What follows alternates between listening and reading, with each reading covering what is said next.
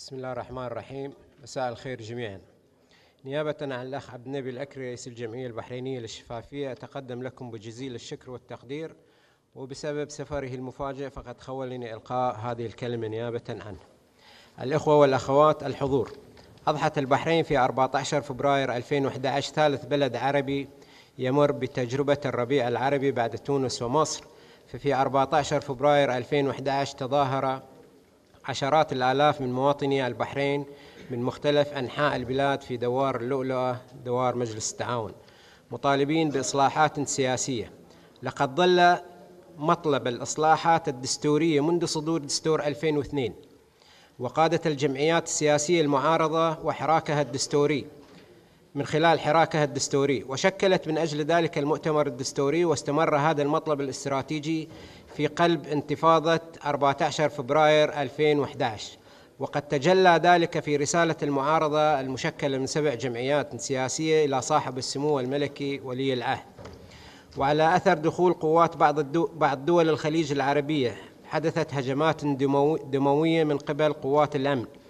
ومثل ذلك نقطة انعطاف خطيرة في تطور الأحداث وبعدها انتشار قوات دفاع البحرين والحرس الوطني وشنت قوات وزارة الداخلية وقوى جهاز الأمن الوطني عمليات كاسحة لإخماد انتفاضة 14 فبراير. وذلك بالهجوم فجرا ضد المعتصمين. ثم اقتحام مجمع السلمانية الطبي وأقامت القوات البحرينية المختلطة نقاط تفتيش في مختلف أنحاء البلاد ومن أجل شرعنة هذه الأعمال فقد أصدر جلالة الملك قانون السلام الوطنية الطوارئ في 16 مارس 2011 وتعتبر حالة الطوارئ هذه أقصى مرحلة أمنية في تاريخ البحرين حيث امتدت من 15 مارس حتى 31 مايو 2011 وفي ضوء الفضاءات والانتهاكات المرتكبة فقد تعرض النظام البحريني لضغوط شديدة للسماح بتحقيق مستقل في الأحداث منذ 14 فبراير. وكان من ضمن الخيارات المتاحة تشكيل لجنة تحقيق من قبل الأمم المتحدة. وبسبب المساعي الحثيثة للولايات المتحدة فقد قبلت البحرين بتشكيل لجنة تحقيق مستقلة من قبل حقوقيين بارزين. واتفق أن يرأس اللجنة البروفيسور شريف بسيوني والذي كلف بقيادة اللجنة وباقي أعضاء اللجنة وهم السير نايجل رودلي نايجل دور رودلي والدكتورة بدرية العوضي والقاضي فيليب كريش والدكتور ماهنوش. لقد, فوج فو لقد فوض جلالة الملك اللجنة البحرينية المستقلة لتقصي الحقائق لإعداد تقرير عن الأحداث التي جرت في البحرين خلال شهري فبراير ومارس والأحداث المرتبطة بها. كما كلفت اللج... كلفت اللجنة بوضع ما ترتئيه من توصيات تراها ضرورية لمحاسبة المسؤولين الذين انتهكوا الحقوق وحريات الأفراد ومن أجل منع تكرار مثل هذه الأحداث مستقبلا مستقبلا ومن خلال تقرير مكون من 500 صفحة مع التفاصيل الموثقة فإن التقرير يعاين انتهاكات حقوق الإنسان والتي حدد ارتكابها من قبل أجهزة الحكومة ضد الأفراد. وتشمل هذه الانتهاكات تعذيب المعتقلين والقتل خارج القانون والقمع المفرط والقمع المفرط بالقوة والاعتقالات من قبل الأجهزة الأمنية وطريقة المداهمة.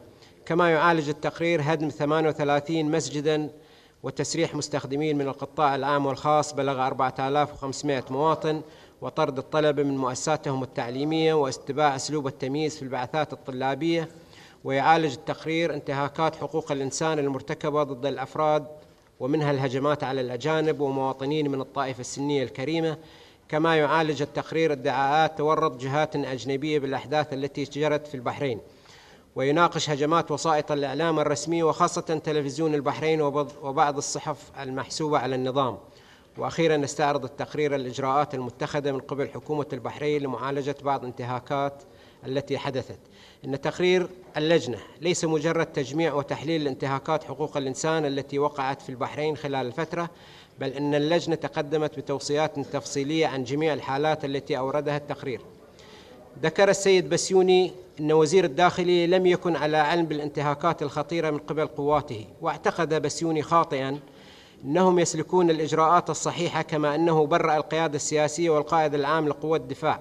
من معرفة ومسؤولية الانتهاكات الخطيرة رغم أن مجلس الوزراء كان يجتمع اسبوعيا بانتظام ويرأس بعض, جلال بعض جلساته جلالة الملك كما أنه لام الجمعيات السياسية على تضييع الفرصة بعدم قبول مقترحات ولي العهد من أجل التسوية في حين أنه يعرف أن المعارضة قبلت النقاط السبع لولي العهد كأساس للتفاوض من أجل التسوية لكن الاجتياح السعودي للبلاد الذي أهدر مبادرة ولي العهد.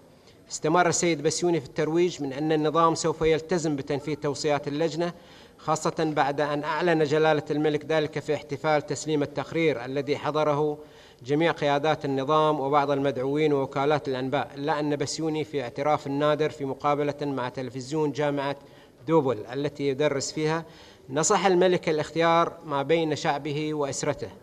إذا ما أراد تنفيذ توصيات اللجنة وحل الأزمة مما يعني أنه وصل إلى قناعة عدم جدية النظام في توصيد في تنفيذ التوصيات وهذا يناقض تصريحاته السابقة.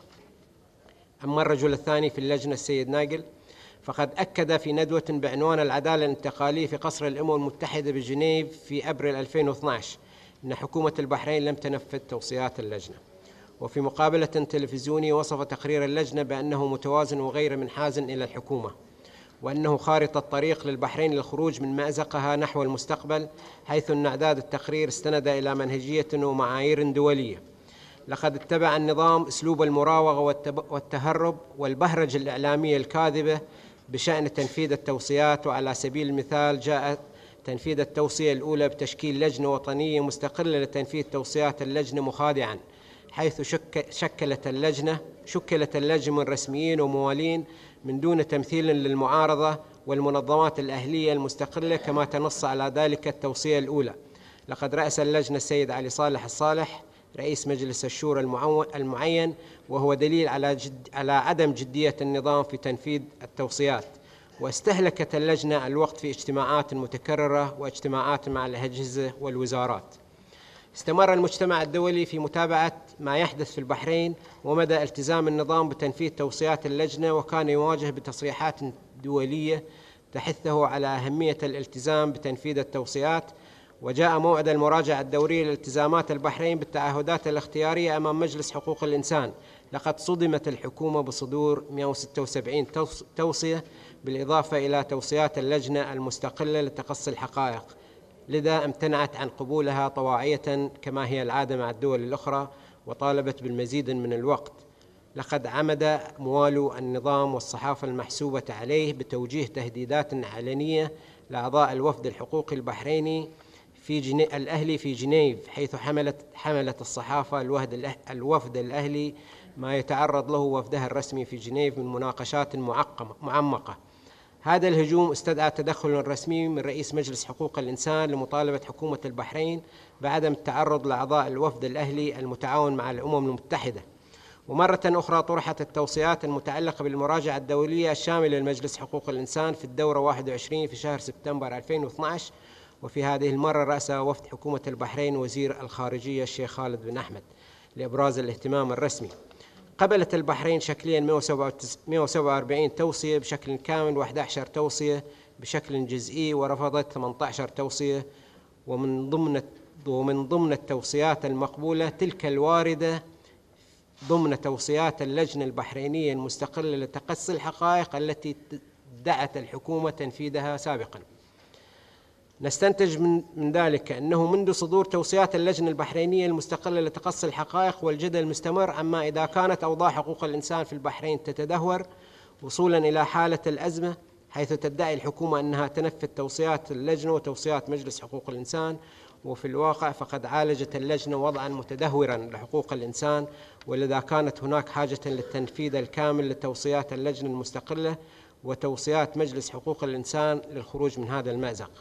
من الواضح أن ذلك أن ذات الحكومة وذات البرلمان المسؤولان عن هذه الفضاعات والمصر على إخضاع الشعب واللجوء إلى الحل الأمني لن تتمكن من تنفيذ لا توصيات اللجنة ولا توصيات مجلس حقوق الإنسان أو إدخال أي إصلاحات حقيقية لأن نفس هذه الأجهزة هي من قام بكل تلك الانتهاكات. من هنا اقتناع منظمات المجتمع الدولي اقتناع منظمات المجتمع المدني المستقلة مدعومة بغالبية شعب البحرين وتعاطف من الأمم المتحدة بجنيف والعديد من الدول الصديقة والنواب الأجانب ومنظمات المجتمع المدني الدولية بأن إدخال إصلاحات شاملة وجذرية للنظام. نحو مملكة دستورية شرط ضروري لتنفيذ توصيات كل من اللجنة وتوصيات مجلس حقوق الإنسان والالتزام بتنفيذ برنامج العدالة الانتقالية وضمان عدم تكرار هذه الفظاعات والانتهاكات والسلام عليكم ورحمة الله وبركاته.